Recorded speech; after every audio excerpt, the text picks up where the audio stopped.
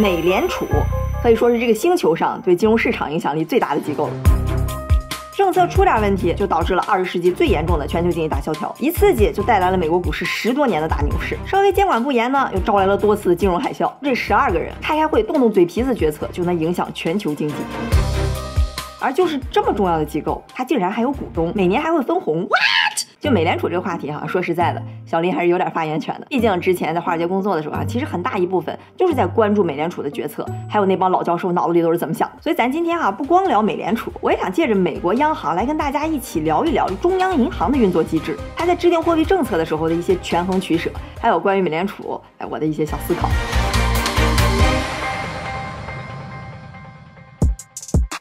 美联储全称叫做联邦储备系统。Federal Reserve System，简称 Fed。注意哈，这个 Fed 它没有 S，然后加上 S 呢，Feds 就变成 FBI 的黑话，是条子。大家可千万可别搞混了。美联储是美国的中央银行，掌管美国的货币政策，就包括印钱呀、制定短期的利率政策等等。你要是仔细看美元那个纸币上啊，都会写一个大大的 Federal Reserve Note，就是美联储兑换券，这个东西就是钱。大家现在可能会觉得央行对吧，是个国家就有，它是个非常常见的政府部门的标配了。但我跟你说哈，美国还真不是这样。就从一七七六年建国到现在，大概两百五十年的时间里哈，有超过一半的时间，它压根就没有中央银行。因为美国人嘛，大家从骨子里就不相信中央政府，就不相信中央集权那套东西。就连印钱这种事儿，他也不想建什么中央银行。中间确实有两次，因为大家要打仗，确实没钱了，就合伙建立了一个临时性的中央银行，也就是美国第一银行和美国第二银行。然后这两个所谓的中央银行哈，都是在帮助各州渡过难关之后，成立了二十年就给关了。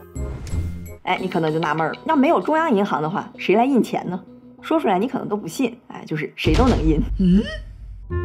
十九世纪的时候，很多私人银行都可以发行自己的票据，基本上就等同于钱。美国当时主打自由竞争嘛，你看都已经能自由到这个份上了。当然，这不是说你随便拿张小绿纸，然后画个小人写个一百就拿出去花了，那肯定不是这样的。钱确实谁都能印，但是真正能流通的钱，你必须得有抵押物，就比如说金银或者是美国联邦政府的国债。后来到十九世纪末的时候啊，银行接连出现了几次系统性危机，就大家一听见风吹草动，就立马到银行去挤兑换钱。这样的危机最严重的一回是在一九零七年，美国政府都不得不求了私人银行家 J P Morgan。出马，才利用了他个人的威望和资金，帮市场渡过了难关。经过这么一通折腾，大家终于意识到说，哎，不行，这个自由竞争实在是太可怕了，咱还是得有个中央银行，至少在这些商业银行被挤兑的时候，哈，得有个央行兜底儿。于是，联邦政府开始起草了美联储法案，并在一九一三年正式建立了美联储。我跟你说啊，这个美联储的制度设计其实是非常精妙的。你说之前美国一直为什么没有中央银行？是因为民众对中央政府这事儿不信任，不愿意让政府说了算。但是呢，你要建立一个机构，完全脱离政府的控制，那政府肯定也不乐意。所以啊，在讨论美联储运作机制的时候啊，政府和这些私人银行家经过了一番激烈的博弈，撕扯了三四年之后，才找到了一个大家都相对能接受的平衡点。咱来看看他们是怎么解决的。你听美联储的全称，它叫联邦储备系统，不叫联邦储备银行，所以它不是个银行，是由十二个地区储备银行组成的系统。这十二个储备银行都有各自的管辖区，负责管理这个区域里边所有的商业银行。每个储备银行都是由这个地区里边上千家成员银行控股。也就是说，美联储它其实是一家私人银行控股的机构。哎，听到这大家可能会有些疑问哈，咱一会儿再细说。这些区域银行呢，确实有一些在行政事务上的自主权。但是，但凡涉及到一些关键的货币决策，比如加息、印钱这种，还是在中央有一个集中的决策层，叫做联邦公开市场委员会，就是 FOMC。哎，注意了啊，这个 FOMC，别看就四个字母，它是非常非常非常重要。这里边总共有十二个人，这十二罗汉就成了真正制定美国所有重要货币政策的组织，也是美联储决策漩涡的核心。你想啊，全球有百分之六十的外汇储备是美元，而美元发多少，利率是多少，全都是由这十二个人开会说了算。可能就几个人一边吃着盒饭一边讨论，哎，咱要不加个息？咵，全球几千亿资金立刻回笼美国，哎，就这么牛。这十二个人里边有七个叫执行委员 （Board of Governors），包括了其中一个是美联储主席，现在是鲍威尔。这个主席的位置是四年一届，可以连任。其他六个成员呢，任期是十四年。就这七个执行委员，包括主席在内，全都是由总统任命的。参议院通过就可以直接上任。那这十二罗汉里剩下那五个席位呢，是由地方联储的主席轮值担任，就大家每年可以轮轮着坐。其中啊，这五个席位里边，因为纽约联储太重要了，所以纽约联储的主席常年霸占一个席位。剩的那四个席位呢，是由再剩下的十一个地方联储换着做啊，大概是这么个意思。这样就组成了 FOMC 的十二人超强天团。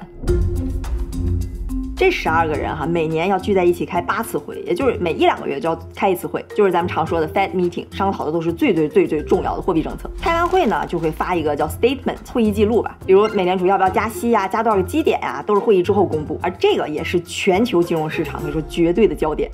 就是因为这个 FOMC 实在是太重要了，就我之前上班的时候哈，我们都会列出来这十二个人每个人是什么风格，然后关注他们的言论。一般哈，笼统来说，我们一般会把这些人分成鸽派跟鹰派。大家要是不知道怎么记怕记穿了呢，鸽派就放鸽子嘛，就放啊，就放松，降息啊，刺激啊，多印点钱这种。那鹰派呢，相反呢缩紧。你像之前几届的主席哈，伯南克那就是典型的鸽派，之后的耶伦呢也是偏鸽派，然后现在的鲍威尔呢就相对比较中立。而那十二个人里边不是有四个是在地方联储主席里边轮换吗？所以你就不光得关注现在这四个人什么风格，你还甚至得关注下面要上来的一个四个人是什么风格。我记得特别清楚啊，当时有一哥们儿叫 Cash Carry，一六年当上了地方联储的主席，他就是个超级无敌大鸽派，以至于他当时一被选上主席，整个股市都跟着涨，你就可见这十二个人的影响力有多大。FOMC 再往下，这十二个地方储备银行，每个都有九个董事会成员，其中六个呢是由这个地方的商业银行推举出来，三个由执行委员推举，算是政府的人。大家先别着急哈，我说完之后要讲一个美联储非常重要的特性，所以先忍一忍。这整个哈，执行委员、FOMC、地方联储和成员银行构成了美联储一个简化版的框架。那这个框架体现出来的一个核心思想是什么呢？哎，就是制衡。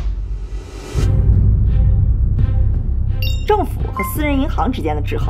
就这里面每一层董事会都既有银行的人，又有政府的人，最底层呢全都是商业银行控股，集中决策层 FOMC 呢又大部分是政府委派的执行委员。可后来慢慢的哈，就 FOMC 这七个执行委员，虽然他们是政府的人选出来的，算是有政府背景，可是呢，政府也不一定能管得了他们，因为一旦任命之后哈，政府其实就很难罢免了，他需要国会三分之二以上的投票通过才行。你比如说啊，一八年底的时候，正好是加息周期嘛，政府肯定不喜欢加息嘛，加息会抑制经济，那就会不利于那个选票嘛。要知道那时候美联储主席鲍威尔那可是特朗普刚刚亲自任命上台的，结果转头特朗普就开始骂了，说我觉得对美国来说，美联储的问题比中国还要严重，他们犯了一个巨大的错误，因为我有直觉，我的直觉告诉我的比任何人的脑子都要多。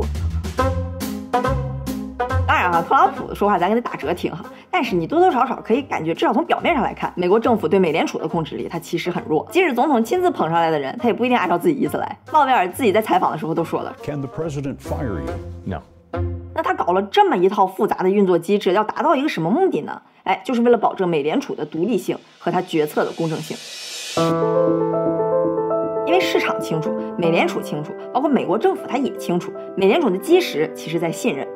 因为手上权力是大，可是这个呢是基于市场对你的信任。全球市场对你越信任，就越多人用你的货币，那你的影响力就越大，对吧？这是个正向的激励。而美联储中立机制呢，就是为了维持这份信任，就不是说美国政府让我干什么我就干什么。这个信任带来的长期收益呢，是要远远超过几次货币政策给政府带来的那种小小的短期收益。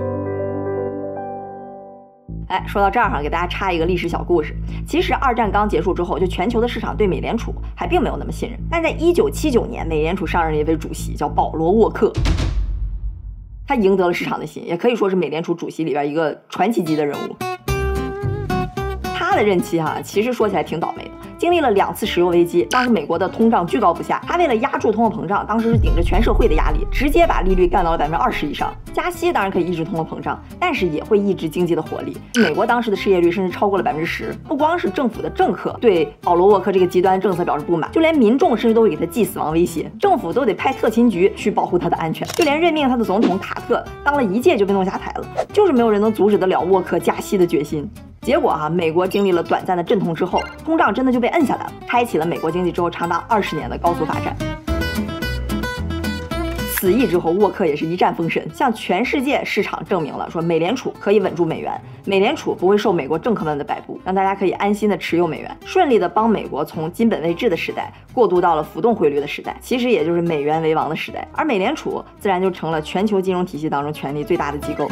反正总之哈，就因为它联动着全球的资本市场，所以美联储它的一举一动都是全球关注的焦点。现在很多投资平台哈都可以帮助我们随时去追踪美联储的动向。比如说我们的老朋友一站式交易平台 Momo 就有这个财经日历，可以订阅联邦基金利率啊、CPI 等等这些关键的经济数据，发布的时候就能收到提醒。它还能直接就看到历史数据啊和预期的对比，方便投资者可以快速洞察市场信号，做出决策。而且啊，它有中粤英三语，对华人就非常友好。最近不是高息环境嘛，某某也给大家准备了现金收益计划的大礼，就你账户里随存随取的现金也可以获得安全的高收益了。美国百分之五点一，新加坡百分之五点八，香港最高九点七，澳洲最高六点八，这样。不交易也可以有收益，还是蛮有竞争力的。另外啊，各个地区的新用户开户还可以领股领现金，每股最高有十五股。具体的信息啊，我就放在置顶评论了。木木一个账户就能投资美股、加股、新股、澳股、港股、A 股通、基金、期权、期货、债券。它一个非常重要的特色就是费率低，对投资者来说便宜。比如说美股、ETF、期权都是零佣金，而且一些专业的就本来需要订阅的功能，它都是免费提供。像实时行情、估值对比，还有六种高级条件订单，不用盯盘就可以自动止损或者把浮盈落袋为安，可以更高效的执行自己的投资策略和控制风险。最近木木在加拿大地区也上线了，最高。有一千五百加币的现金奖励，各个地区的小伙伴都可以在置顶评论领取木木的福利。好，我们说回美联储啊，刚才呢我们说到了美联储它的架构和它决策的独立性。哎，有一些善于思考的朋友们到这儿可能就有疑问了，咱不是说美联储它是由所有的成员银行共同持股的吗？那你理应就应该为股东的利益最大化考虑啊，你怎么能说它独立呢？哼，哎，咱俩现在在这儿说说股份制这个事儿哈。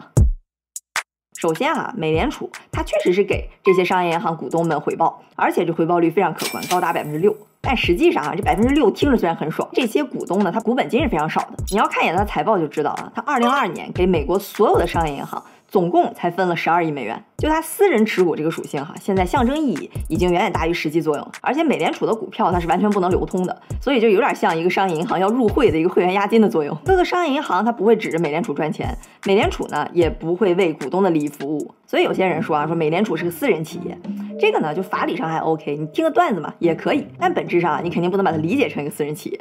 不过我跟你说哈，虽然他不给股东分那么多钱，但美联储它实际上是非常赚钱的。而这个钱你知道都给了谁吗？哎，美国政府，这个其实是很多人没意识到的。首先，咱得知道美联储它的利润是怎么来的呢？你不能说这个钱是我印的，这就算我的利润就算我，这肯定不行。那印出来的钱其实相当于什么？相当于一个零息贷款。那我可以拿这个钱出去放贷，或者拿这个钱出去买各种投资品。贷款之后的利息或者投资品带来的回报，哎，这部分都可以记到我的营收下面。而这些所有的利润，除去那些象征性的分红以外啊，都会上交给美国财政部。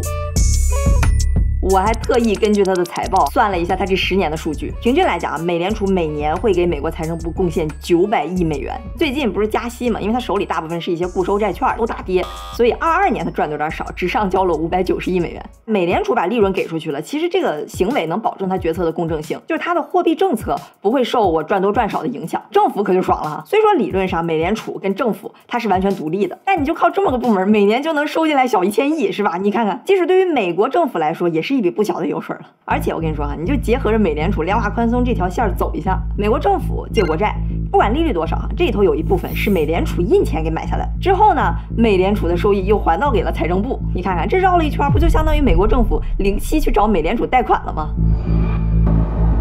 好，咱刚才说了那么一大通哈，非常精彩，但咱其实主要说的是美联储的独立性。那美联储它作为一个独立的中央银行，它的目标是什么？它又有什么武器来达到这个目标呢？首先，它的目标非常简单，最重要的目标就俩：稳定的物价 （stable prices） 和最大就业 （maximum employment）。不过啊，这两个目标经常是会冲突的。就你想刺激就业，那你可能就需要宽松的货币政策，就会导致通货膨胀、物价上涨嘛。你比如说，当时沃克为了摁住通胀，他就加息，导致了失业率的上升。这两个之间怎么平衡？这个是需要美联储去拿捏的。当然啊，现在普遍的经济学认为，这个物价稳定是更重要的。这个咱们在通胀那期详细拆解过啊。那美联储都有哪些货币政策呢？其实啊，它在早期这个武器库是非常丰富的，这个利率啊，那个贷款啊，控制各种地方。但随着市场一点点成熟呢，它的武器库也开始化繁为简，主要它就控制一个东西，就是利率，而且不是所有的利率，是联邦基金利率 （Fed Funds Rate）。就是银行之间，它要拆借一晚上的利率。我们平时说美联储加息降息，其实指的也都是这个利率。我觉得大部分朋友哈，其实知道这儿就差不多了。它具体怎么去调节那个一天的利率，我们就不细说了。你看，它实际上是有一些工具，归根结底都是在控制我们刚刚说的那个一天的联邦基金利率。这短期利率呢，其实就决定了市场当中钱的流通速度，也就实际控制了市场里边货币的多少。其他所有的利率，像你的存款利率、房贷利率、国债利率等等，全都是由市场供需决定的。就美联储它没法直接控制。当然哈，虽然它没法直接控制，其实那些所有的利率跟美联储能控制的那个一天的联邦基金利率相关性是非常高的。这个我们在利率那期详细的讲过。烦死了！美联储这套体系进化到上个世纪九十年代，就格林斯潘是美联储主席的时候，哈，可以说是所向披靡，成功的顶住了几次股市崩盘和亚洲金融危机的冲击。就市场觉得它已经非常接近完美了。这就好像什么哈，就好像十九世纪的时候，那时候的物理学就觉得自己已经了解宇宙的真谛了，除了几朵乌云以外，就没有什么自己不知道的。那谁知道二十世纪量子力学和相对论打开了物理学潘多拉的魔盒，中央银行的潘多拉的魔盒则晚了一个世纪，在二十一世纪被打开了。二零零八年，雷曼兄弟倒闭，金融海啸席卷全球。为了刺激经济，美联储把利率从五点二五迅速干到了半个世纪以来的最低位，几乎为零。但是面对这百年一遇的动荡，你光降利率完全不够，市场的信心还几乎在冰点。于是啊，美联储又开始了下一次升级，他就想起来前几年日本央行的一个操作，量化宽松，就是 QE。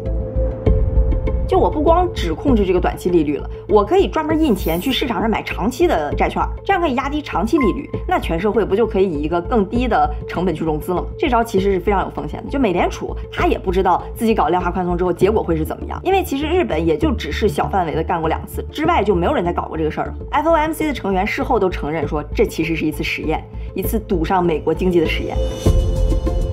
但也没办法，为了避免美国再一次陷入八十年前的类似的大萧条，美联储主席伯南克决定尝试量化宽松。他要把一点七五万亿的债券，这个相当于市场上所有流通债券的四分之一，在一年多的时间里全都给买下来。此招一出，市场立刻震动。十年期的国债利率两天啊降了一百多个基点。因为利率下降，债券的投资收益率下降，大量的资金就涌向了收益率更高的资产，主要就是股市。股票在 QE 期间高歌猛进，金融市场那是一片欢呼。而资产价格的大涨，通过财富效应确实带动了实体经济。财富效应呢，就是股票一涨，大家就觉得自己的财富增加了，就会增加消费，总需求增加，从而带动整个社会的信心。其实中国前些年房地产的上涨啊，也通过财富效应，很大程度上刺激了中国经济的发展。美国的失业率终于止住了上升的势头，开始稳步下降。那美联储一看，哎，这招挺管用哈，接着又来了第二波和第三波的 QE，三轮下来效果还不错，避免美国陷入了衰退。看起来美联储好像又一次成功的化解了危机。可是就在他准备把这些临时性的政策慢慢推出来的时候，问题出现了，市场出现了药物依赖。二零一三年五月，美联储主席伯南克公开说，考虑要减少量化宽松，就是 taper。注意哈，这说的都不是要开始卖手里的债券，只是说买的少一点，慢一点。而且哈，说的是考虑，还没有开始减少，市场立刻就开始慌了，债市恐慌性暴跌，十年期的国债利率在半年之内涨了一百多个基点。看到市场如此激烈的反应哈，伯南克立马出来圆场，说：“哎，不好意思，不紧缩了，不紧缩了哈，我之前说的就当我放了个屁。”这才缓和了紧绷的市场情绪。这个闹剧就是著名的 taper tantrum，缩表恐慌事件。它意味着什么哈？就是说之前美联储靠 QE 这一剂猛药，让市场快速恢复，市场就太舒服了，太爽了，产生了药物依赖。结果现在美联储想减量，市场立刻开始撒泼打滚。而我跟你说，美联储这波 QE，它最大的作用都并不是刺激了实体经济，而是缔造了一波股市的神话。哎，注意，这是一个幽默的讽刺。这个哈，其实就是美联储采取货币政策的时候一个非常尴尬的地方。就在经济不景气的时候，甭管我是降低利率、印钱买债券，这些金融机构它其实是不愿意把手里的钱放贷出去的，而是更愿意去投资。在美国呢，主要就是买股票。那上市公司呢，正常利率降了，它可以低成本融资了吧？但它其实也更倾向于去回购自己的股票，就说白了还是买股票。所以里外里这么一看，美联储不管是什么货币政策，最后大部分的资本还是流向了股市。虽说哈，美联储的目标是稳定物价和降低失业率，你可没听说要让它股市上涨，但结果就是美联储一刺激，股市就哐哐涨。这个哈可不光是美联储，其实全球的央行都面临类似的问题，就它只能决定我印多少钱，花多少钱，但它其实没法决定这个钱花在哪。这就好比说什么哈，就美联储它掌控了一个灌溉系统，就你可能想让它这个水去浇，比如稻田、农场，但是呢，它能做的就只能是把上游那个水阀给打开，大放水，水往哪流，它确实没有办法去控制，可能确实有一小部分流到了这个稻田、农场，也就是实体经济，可实际上呢，大部分水全都流到了边上的蓄水湖里边，这个蓄水湖可能是股市。可能是房地产，也可能是海外资产。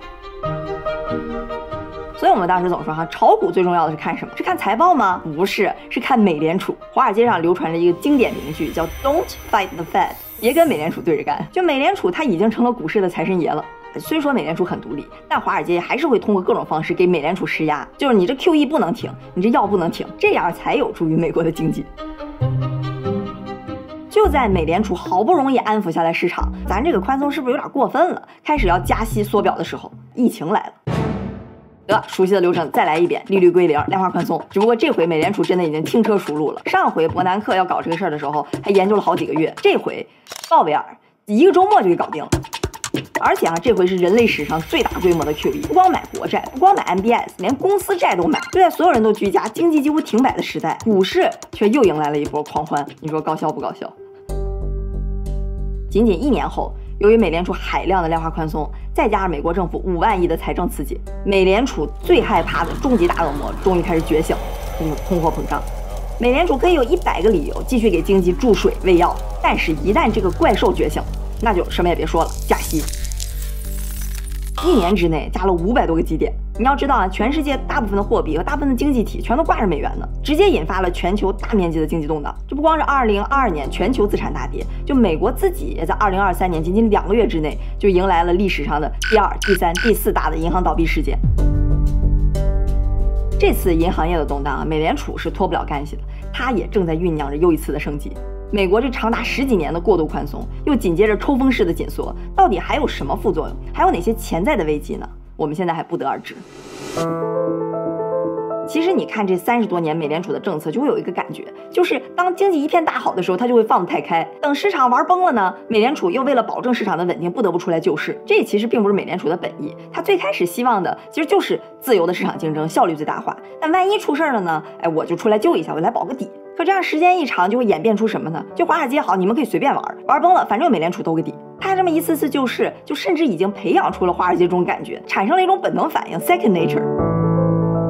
其实吧，往深了说哈，我觉得不光是华尔街跟美联储，它有这层矛盾。就在金融体系的每一个层面上都有这个问题，这个游戏机制就让这个玩家都有一个兜底儿的选项。你想啊，金融公司玩崩了，有美联储，有美国政府兜底儿；那一般公司玩崩了呢，大不了破产，也可以兜底儿。比如说一个基金经理，哪怕再亏，亏大不了就是被开除嘛，他自己本身的钱也不会受影响。而一旦赚钱了呢，那就是上不封顶，全归自己。你看啊，金融它本身其实是一个杠杆的游戏，就是在风险和收益之间的一个权衡取舍。但是因为有这个兜底儿的游戏机制，它就导致了风险和收益其实是不对等的。这好比什么哈？就比如说你玩一个扔硬币的游戏，正面你赢钱，输了呢，背面你亏同样的钱，这很公平合理是吧？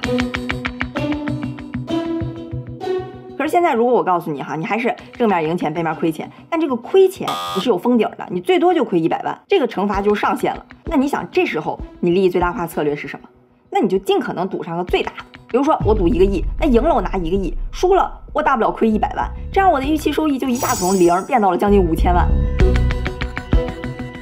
所以你看啊，这个亏损封顶的游戏规则就会鼓励这个市场里边的所有玩家去从事风险更高的活动。你从事这个活动的风险越高，它的预期收益其实也是更高的。其实像金融市场里的基金经理啊、上市公司、华尔街银行，他们都非常清楚这套游戏规则。你要是仔细想想哈，其实不光是金融行业，整个市场上的很多经济活动也都遵循这个原理。那美联储肯定不希望因为自己可以兜底儿，就鼓励这些金融机构去不断的放大杠杆儿，所以他慢慢就意识到呢，其实事前的监管比事后的救市更重要。所以他在零八年金融危机之后哈，是极大的增加了他的监管力度。不过哈，这个力度显然好像还不太够。你看今年这银行噼里啪啦的倒闭，估计这个美联储又开始酝酿下一轮的监管该怎么升级了。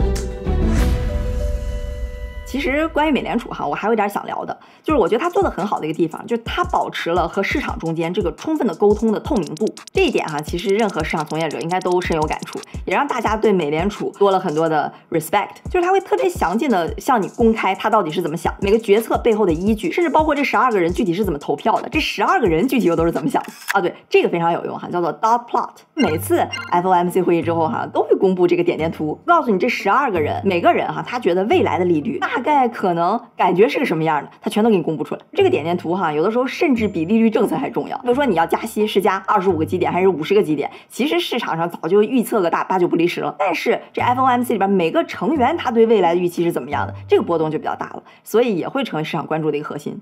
其实哈，美联储还真的公布了大量的经济研究资料在他们网站上。虽然网站设计有点丑哈，但确实藏了不少宝藏，像经济数据啊、他们的理论研究啊、科普啊，甚至各种论文等等。这里边在业界比较有名的有一本叫 Beige Book，直译过来叫做米色的书。国内一般不都叫白皮书吗？但可能美联储它更喜欢米色。这本书哈，每隔一段时间就会更新一次，包括了十二个地方联储做的一些经济研究，还有当地的经济状况，应该算是从业者必看的。虽然你感觉美联储最后的决定可能都极其简单，就是加息或者不加息。加多少个基点？你可能感觉这可能是全世界最简单的工作了。可是他们就是通过各种的研究报告，甚至演讲，来告诉你说，他这个是经过了缜密的决策之后，才决定这个水龙头这次要开多大的。他不是就是随便一拧瞎胡闹的。说到底呢，还是为了增加市场对他的信任。这期哈，我除了跟大家科普了一下美联储的机制啊、历史啊、目标啊等等，也深入的探讨了一下它的一些问题，还有底层的游戏逻辑。其实各国央行呢，也都遵循着和美联储。大概类似的逻辑，这期视频哈，说实话可能不是那么好理解，我也掺杂了不少就乱七八糟的信息，还有我自己的想法。说实在的，我都觉得还挺好的，舍不得删。所以你能看到这儿哈，我觉得你真是挺棒的。如果你要是把这期结合着之前的利率、通货膨胀融会贯通一下哈，我觉得肯定会大家对宏观经济啊、宏观政策，包括央行的决策理解是非常有帮助。